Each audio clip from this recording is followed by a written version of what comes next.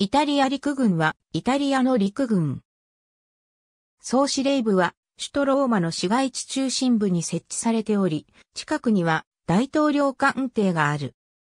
近代イタリア陸軍の歴史は、イタリア統一に遡り、イタリアの母体となるサルデーニャ王国陸軍が独立に関わった武装組織や平定した国の陸軍を吸収して1861年3月4日、イタリア王立陸軍を組織した。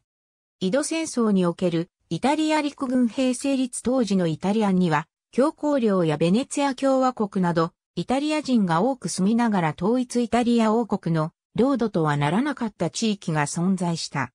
イタリアはこれら未回収のイタリアを占領国から回収することを陸軍の主命とし、広潮戦争ではプロイセン軍と同盟を結んでオーストリア軍と争った。経験不足の新興国イタリアの軍隊は、老大国オーストリアの軍勢に苦戦を強いられるが、統一の英雄であるガリバルディのアルプス軍団の活躍やオーストリアが、ケーニヒグレーツの戦いでプロイセン軍に大敗を喫したことなどに助けられ、辛くも勝利を収めた。講和条約でベネト地方を奪還したイタリアはついで、不仏戦争において、フランス軍の庇護を失った強行領を手に収め、ローマに遷都し、統一運動に一応の終止符を打った。統一運動を一段落させたイタリア陸軍は、新たな任務を植民地獲得へと定められる。植民地戦争の後発組であるイタリアが目をつけたのは東アフリカであった。1885年に東アフリカのエリトリア・ソマリランドを獲得、陸軍部隊を駐屯させた。さらには唯一欧州列強の植民地化を逃れていたエチオピアに兵を進めるが、メネリク2世の下で高度な近代化に成功していたエチオピア軍を侮ったことから、アドワの戦いで敗れ、一時侵略の足を止めた。1900年のギワ団の乱では、列強の一員として出兵し、その存在感を示した。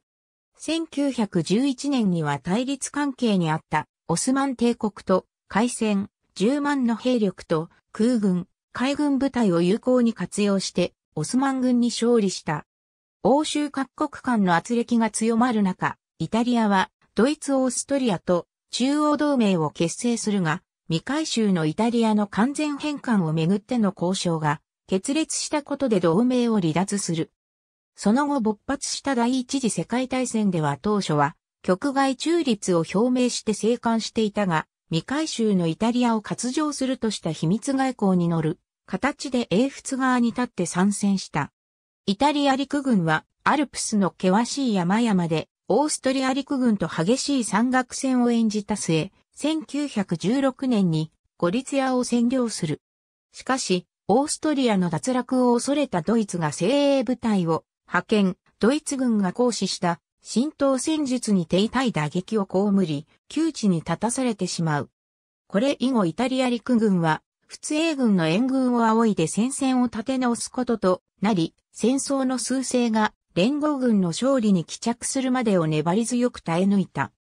この戦争によってイタリアはトリエステや南チロルの回収に成功したが、フッツェのように莫大な戦費を賠償金で賄うことができなかったため、戦勝国とは思えぬ経済危機に見舞われ害は失業者と福井運兵で溢れ返った。こうした経済不安は後のファシズムの台頭を招くことになる。エチオピアに出征する兵士物資を輸送するイタリア陸軍兵1923年、陸軍航空隊がイタリア空軍として独立する。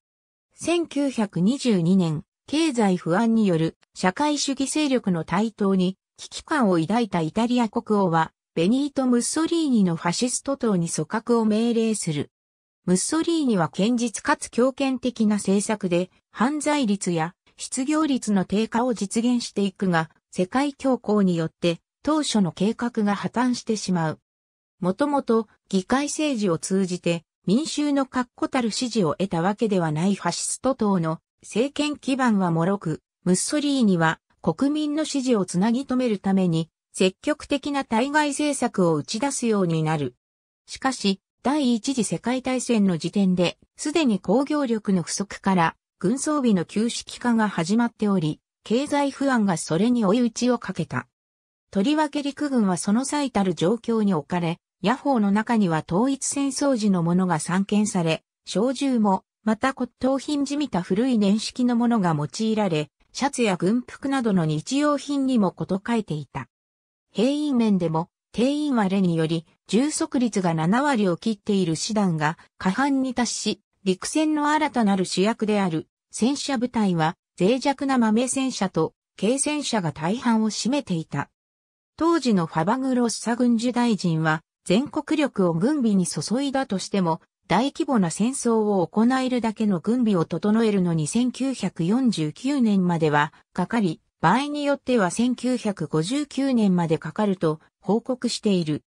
また資源や食料を輸入に頼るイタリアはアメリカやイギリスなどとの貿易を生命線としていて、強硬な対外政策によって、それらの国々と対立することは資源の枯渇を意味していた。ドイツや日本は近隣の資源地帯を抑えることでこうした点を解消したが、イタリア近郊にはそのような手頃な資源地域も存在しなかった。軍や政府の高官は再三にわたって最高を打診したが、ムッソリーニは反対を押し切って無謀な対外戦争を引き起こしていくことになる。1935年に再度エチオピアの植民地化を狙ったイタリアはエチオピアへ侵攻を開始。1936年に陸軍が現地の傭兵隊と共に首都を占領して全土を征服すると、それまでのイタリア領ソマリランド、エリトリアそしてエチオピアと合わせイタリア領東、アフリカを形成する。しかし、植民地としての旨味は少なく、植民活動も低調であった。エチオピア侵攻に際し、ムッソリーニは友好関係にあったイギリスとフランスを中心に、用意周到な外交的根回しを行っていたが、結局は国際連盟によって経済制裁を受けてしまう。もっともその内容は石油などの重要資源は外されており、致命的なものではなかったようである。しかしながら、この行為を裏切りであると憤慨したムッソリーには、国際連盟を離脱、アドルフ・ヒトラー率いるナチスドイツと接近し、スペイン内戦に介入する。この戦いでは主に空軍や海軍が活躍を見せるが、これも、またとに、外交的孤立と国力浪費を招くだけに終わり、英仏との対立は資源を輸入に依存するイタリア国軍に深刻な問題を付与することにつながった。第二次世界大戦開戦直前の1939年4月、イタリアはアルバニアに陸軍を進めて占領する。1939年9月1日、ドイツがポーランドに侵攻し、第二次世界大戦が勃発。イタリアはドイツと友好関係にあったにもかかわらず当初は局外中立を宣言し、ことの成り行きを静観していた。そして翌1940年、ドイツがフランスへ侵攻すると、鋼鉄協約や独異防共条約など対英物、大祖で一致していたイタリアの参戦が予想された。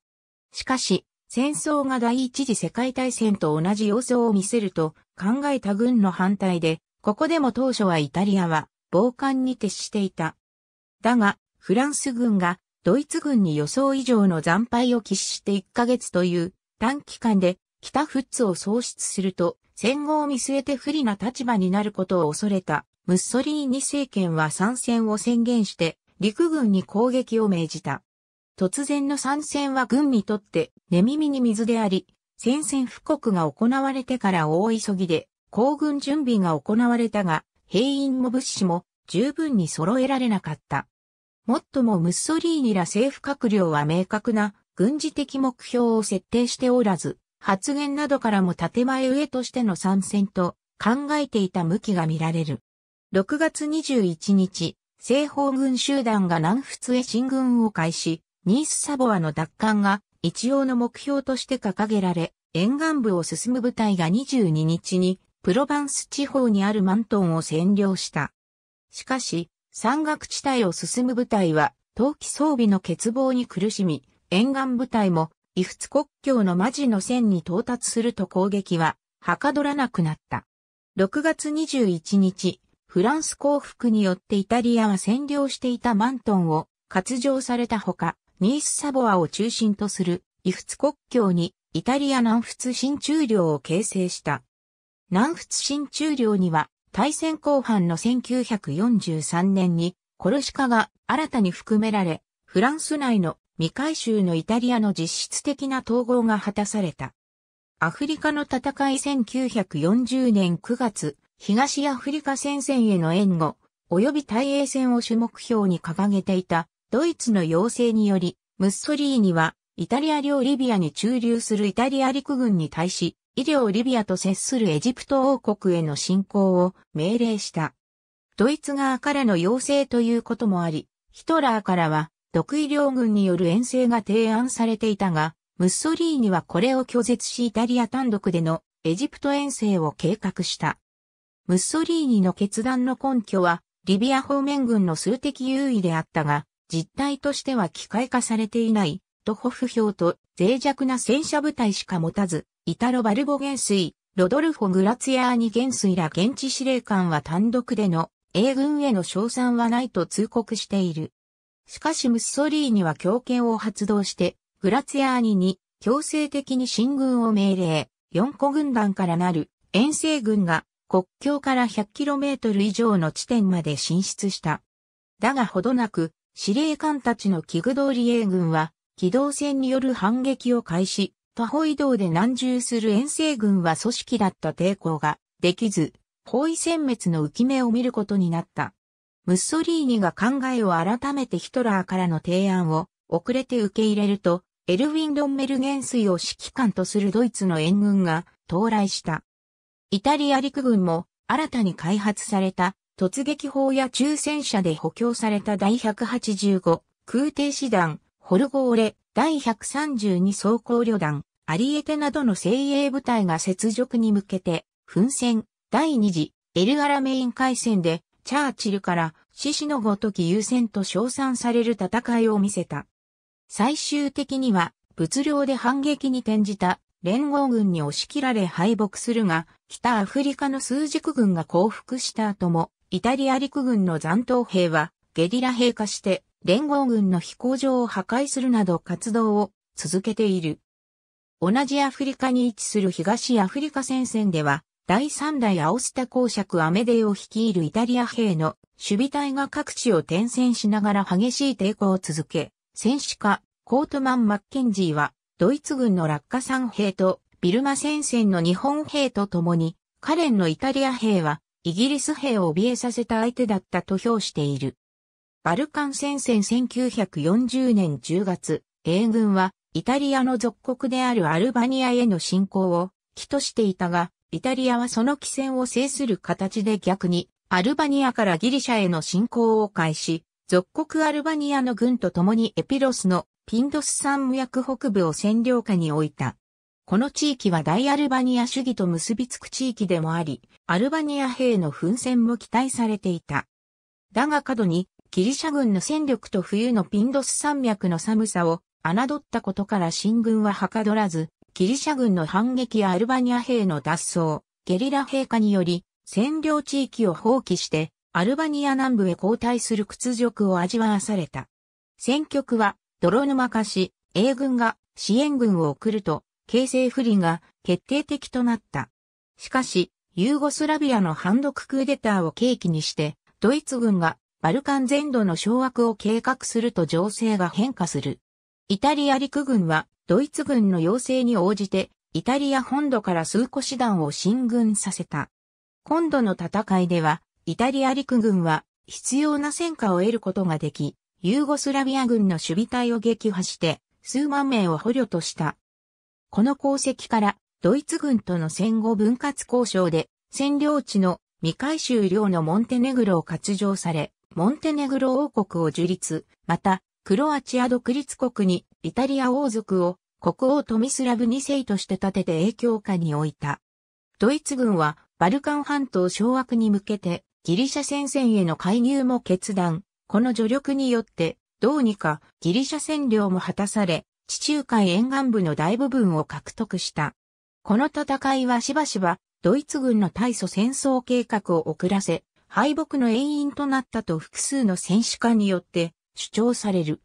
しかしこの仮説については、疑いの余地が持たれる推論であり、当事者の一人であるところのイギリス政府でも激しい議論が行われた。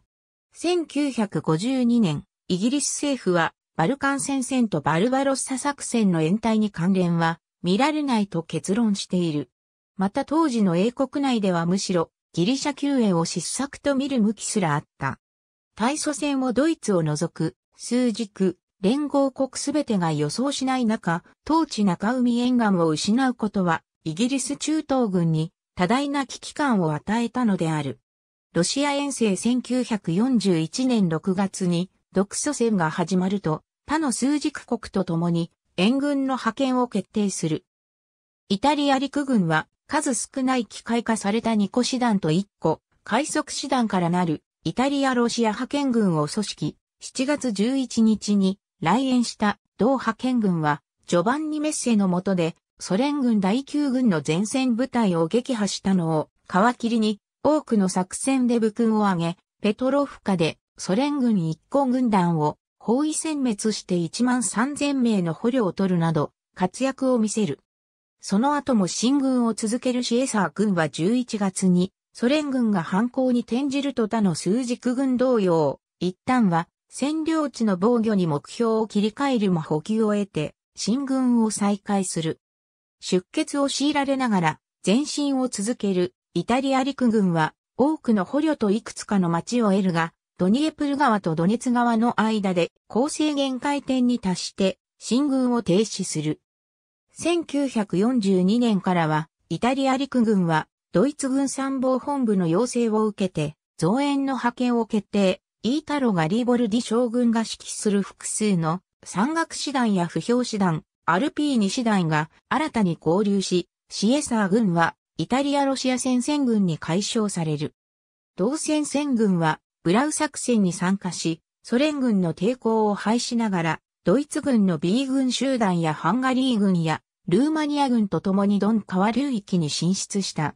この際、第三竜騎兵連隊、サボヤがソ連軍に騎兵突撃を成功させているが、これは欧州における最後の騎兵突撃である。